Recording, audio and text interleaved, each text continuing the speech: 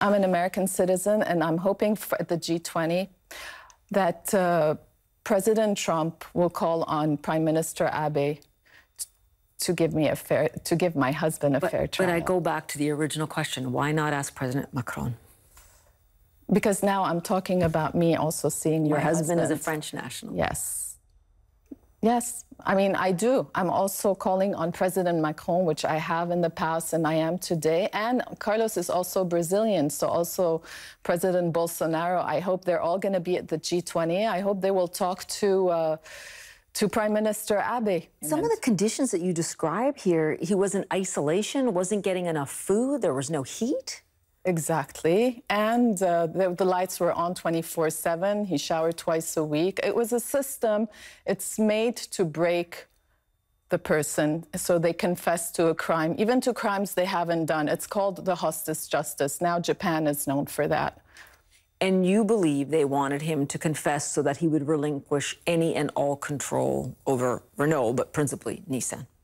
Uh, yes, I mean they wanted to get rid of him, so by making him look guilty, it's you know that it, justifies why they arrested him. The allegations are quite specific that they have made most recently, and that's that uh, there was a diversion of corporate funds for you personally, your family personally, and your husband personally. Do you dispute that there's any evidence there of that? I think they've twisted the truth because they needed an excuse to put him in, in, in detention. And it's all lies. And, uh, and I think with time, the truth will come out. But he has to get a chance to a fair trial so he proves himself.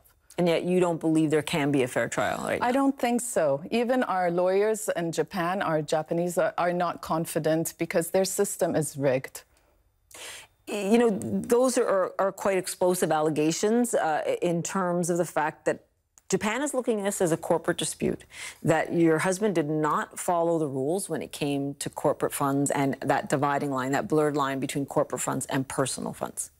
You know, we haven't seen any of the evidence. It's been seven months since he's been arrested, and we have not seen any documents against my husband. We haven't seen anything. You know, they just keep on accusing us, and we haven't seen a thing.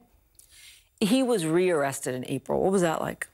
It was a nightmare. At 5.50 in the morning, they barge in on us. And first of all, they called the, um, all the journalists were downstairs to make a show out of it to embarrass my husband more. And uh, they walked in and they made him get dressed and they took him away. And then I was left for hours. They searched a 50 square meter apartment. They searched everything and I was in my pajamas, so I asked to to change my clothes, and I wanted to shower and get dressed. The the prosecutor, the lady prosecutor, went into the shower with me and handed me my towel, and every time I needed to use the bathroom, she would go into the toilet with me. So, I mean, it's just how much more do they want to humiliate us? And then they took my passport, which is illegal to take a passport. I'm not under arrest. I'm not a suspect. What is it? Forms of intimidation? Is this how, you know, the democracy in Japan works? Why do you think in the end that it came to this, though? Why do you think we're at this point with this dispute? Because it obviously seems to be incredibly complicated involving Nissan and Renault and the Japanese government. I, I, think it's it's my husband was collateral damage to a bigger story. I think Nissan and Renault did not want to merge. My husband wanted to merge them. And they thought the best way of doing it is getting rid of my husband. Why do you think your husband is not getting more help from Renault, but I would say principally the French government? I know that you have asked President Trump to try and do what he can, intervene, but why not the French government? Because the French government has interest in Nissan. They want to merge. So, you know, they threw my husband under the bus for the merger. To them, that was more important than my husband, unfortunately. So you, Again, I say it's collateral damage. So you're saying that the French government and the Japanese government are both complicit? No, I don't think the French government was complicit. The Japanese government was complicit at the beginning. Parts of it, not all of it. But then why wouldn't President Macron at this point get involved and say this is a corporate issue and at least say, show us the evidence. Let's have no, a... I, I, I wish I knew the answer, you know? What do you think the answer is? Have you spoken to French officials? I've, I've spoken. They said they're doing everything they can. That it's you know it needs time because there's diplomacy involved and there's a way to do things, and that we have to be patient. It must be pretty hard to be patient right now. It's, it's devastating. You know, our lives have turned upside down. Nothing makes sense. And, um, and, and, and we see no end in sight.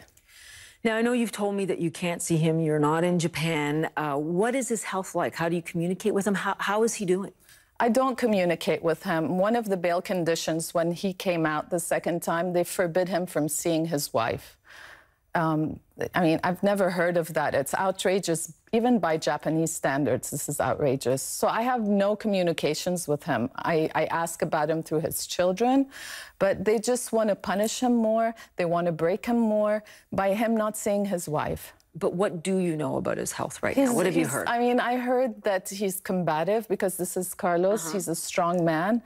But uh, I mean, if you spent 130 days in solitary confinement. He's tired and, uh, I mean, he's depressed, of course, but I, I mean, that's all that I know. How do you see this being resolved at this point?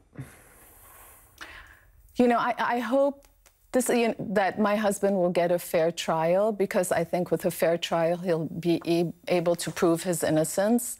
Um, I hope they will respect the presumption of innocence in Japan. Um, and I hope I'll get to see him and be there by him, his side and take care of him at a time where he needs the, me the most and I need him. And, and they separated us.